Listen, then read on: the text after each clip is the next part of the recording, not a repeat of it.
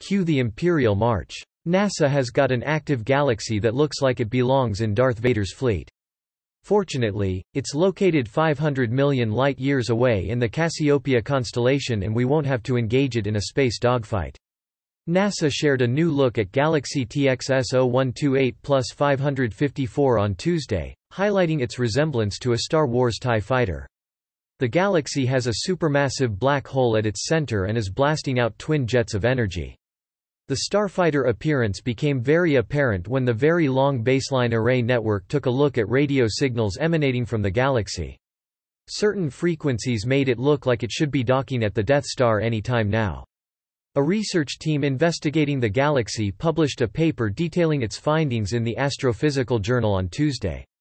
The team used observations from a variety of sources, including NASA's Fermi Gamma Ray Space Telescope and the Chandra X-ray Observatory to build a more complete picture of the galaxy.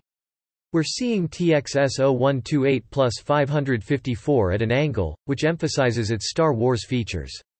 What qualifies TXS-0128 as an active galaxy is the amount of extra light it emits, more than what its stars alone can provide. An active galaxy's extra energy includes excess radio, X-ray, and gamma-ray light, NASA said in a release.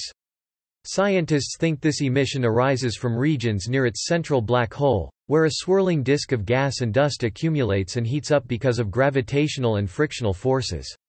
Lead author Matthew Lister, an astronomer at Purdue University, thought the TIE fighter look, was a fun surprise, but its appearance at different radio frequencies also helped us learn more about how active galaxies can change dramatically on decade time scales. The galaxy fits in well with the small pantheon of Star Wars lookalikes out in space, including Saturn's, Death Star moon, Mimas and a Jabba the Hutt-shaped rock on Mars. The universe needs to step up and start representing the Jedi side so we can maintain the balance in the Force.